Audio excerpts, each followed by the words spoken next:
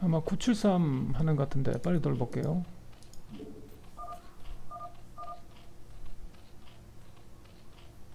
9 됐을 때 그래서 어, Spawning Pool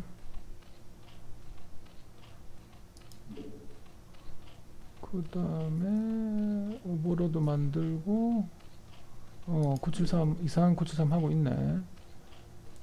가스 동시에 하고 히드라덴을 지금 이 히드라덴을 아니네. 해처리를 먼저 지어야지. 그래. 973 특징이 해처리 여기 짓는 게 아니고 여기 지어야 됩니다. 여기 앞마당에.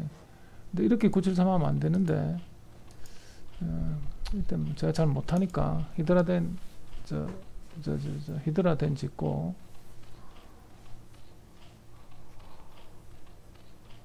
하이 Hydra네요. Hydralisk Den 하이 하이네요. 그리고 원래 여기에 이제 해야 돼요. 여기 지어야 돼.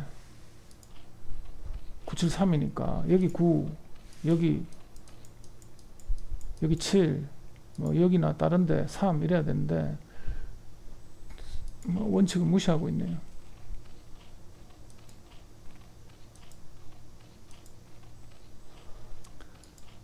그래갖고 일단은 막 씨알이 막 무조건 무조건 저 저 보내는 거야 일단. 그리고 지금 이제 뭐 하고 있나 보자. 지금 이제 아마 사거리부터 업그레이드 해야 되거든요. 사거리 업그레이드 하고 있는 것 같고 업그레이드 안 된 상태에서 초반에 싸우는 거지.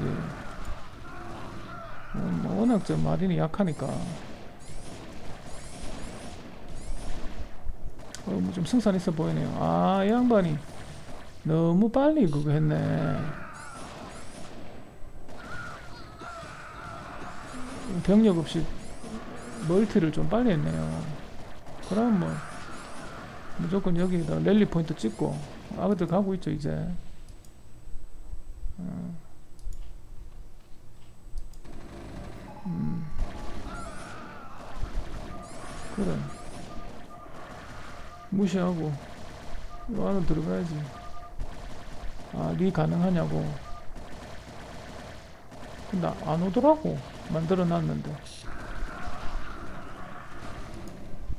자, 또 랠리 포인트를 요래 놓으니까. 어, 경기 끝.